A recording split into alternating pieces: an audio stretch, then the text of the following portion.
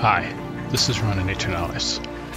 This video will examine how InstantHookups.com combines with scam websites, shell companies, and a concealed payment company to collaborate and steal money from people. As I go through this, I encourage you to go to any of the places I do and verify it for yourself. Craig Meet Friend is a typical scam website.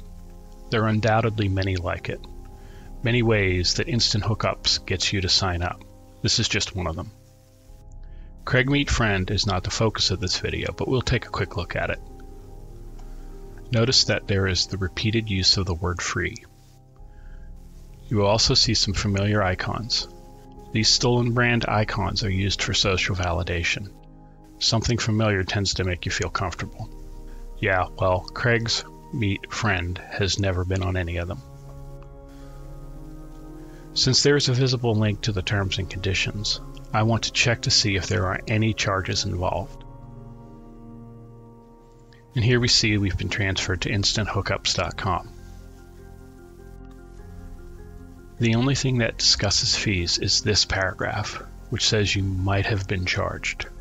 There is nothing here to give us any reason to doubt the word free.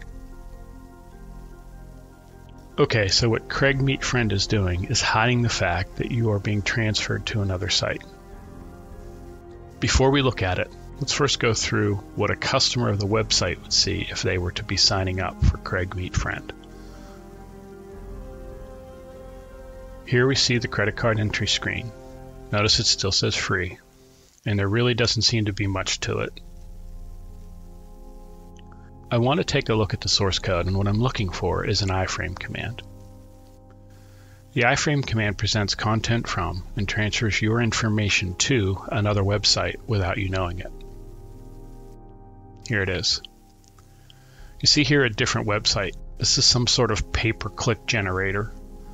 This one will redirect you to instanthookups.com. It also acts as a buffer between Instant Hookups and the scam website. This provides a plausible deniability to instant hookups and the other companies involved, which you'll see shortly. Over here you see commands that control the size of the window and prevent you from scrolling inside the window. Scammers need to do that to make sure you don't see what's really there. So I'm going to click on it and see where it leads.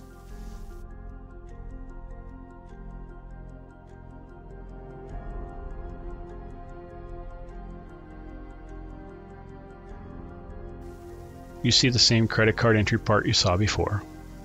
But over here on the right, we have all sorts of things you couldn't see before. Let's walk through this. We have InstantHookups.com premium service for $49.99 a month after a one day trial period. Hookup Cloud for a 195 two day trial period and then $39.95 per month and a pornography service for $29.95 after a 14 day trial period. Of course, since you don't know the charges are there, you don't know to cancel the trial period. They might send an email, which could easily end up in a spam folder. Even if you do get an email, if you're not looking for the charges, you could easily miss them. Next, if you look at this section on Rocket Pay, it's actually a checkbox. What this is doing is giving RocketPay permission to keep your personal and credit card information. They're kind enough to have it already checked for you. RocketPay is a service of RocketGate.com. This is a small, anonymous payment processor and customer service firm. They keep their internet registry anonymous.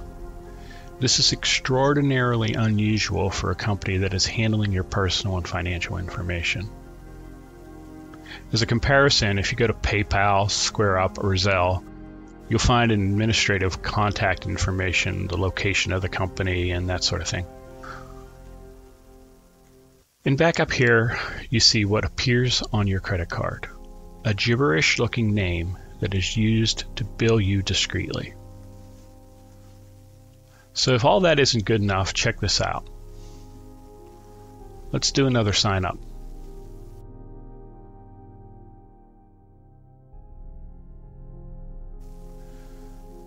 See how the name has changed?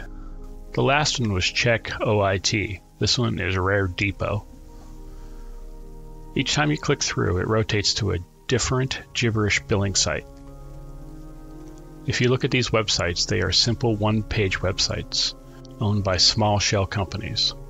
I'll show you what they look like in a few minutes. Let's do it again. Another gibberish name.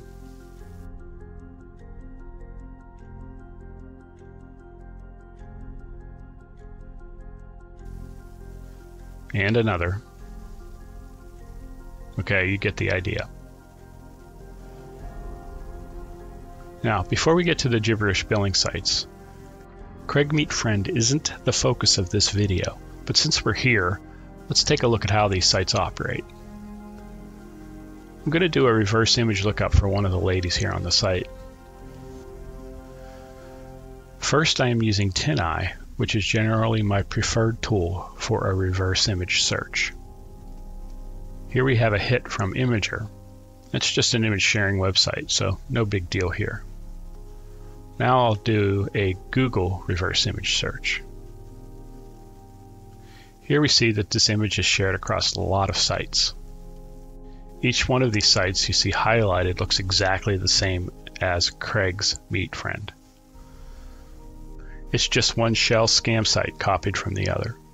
Very common in this uh, world of scammers. Okay, now let's look at the privacy policy of instanthookups.com. This is a very well crafted, cover your ass type of privacy policy. The interesting thing is right here.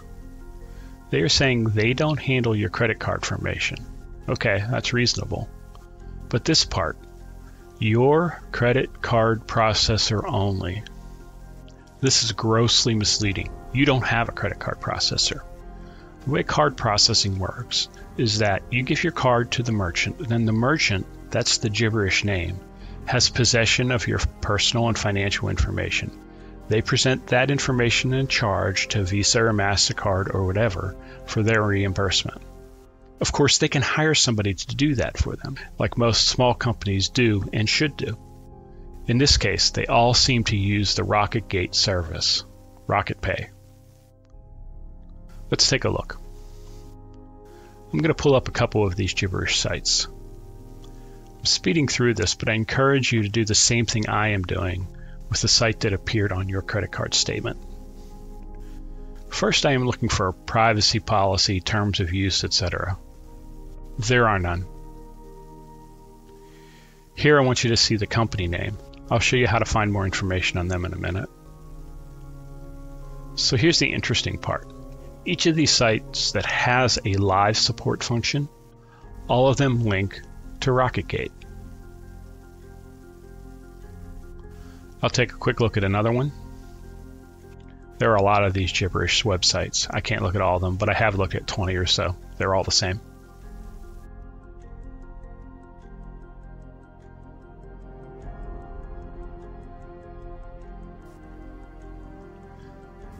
Okay, let's review what we've been through here. We have a scam website that hides a sign up to instanthookups.com. By the way, there is no Craig Meet Friend service. It's just a facade. There are more than $121 in charges. That's per month. The most alarming thing is that you really do not know who has your personal and financial information. I suspect that this is only RocketGate and that the gibberish company is not even a pass through, but we really don't know who has this information. Why the owner of Instant Hookups routes their transactions this way is still a bit of a mystery. It doesn't look good, doesn't feel right. The owners of these websites are small one, two person companies. Most of them are in the UK, some in Cyprus, and a few in the United States. We do not know who put up the facade Craig Meet Friend. RocketGate is anonymous, as noted before, this is highly unusual for someone who has your personal and financial information.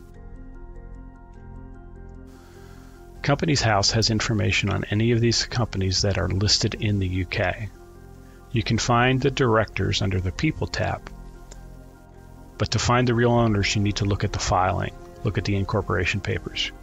Usually you will find one or two shareholders that are the real owners. I have looked for some privacy policy in all of the websites and have not found any. These are small offshore companies that do not have any accountability. This is a high risk situation and you are at risk for identity theft. If a data breach happened all along the way here, you would probably never know it until you started getting calls from bill collectors you've never heard of. So if you have been charged by one of these companies, here's what you need to do now. First, cancel your credit card. I know this is going to be a pain, but there is no entity involved here that you want to have your personal and financial information. Cancel your membership. Hopefully that's obvious. You don't want anything to do with any of these companies. Now, if you knew you were going to be charged and you have to pay the bill, even if you forgot about a trial period membership, you have to pay it. If you did not know you were going to be charged, then it's a different situation. You can dispute the charges. I don't recommend contacting these companies because that gives them more information about you, and in my opinion, it is not reasonable to continue to work with somebody who has defrauded you. I suggest just working with your bank, but that's up to you. My website has information on how to dispute the charges, your rights as a credit card holder, and sample dispute letters. There's no charge or sign up for any of this, but to the extent you can support the site, that's greatly appreciated. That's it.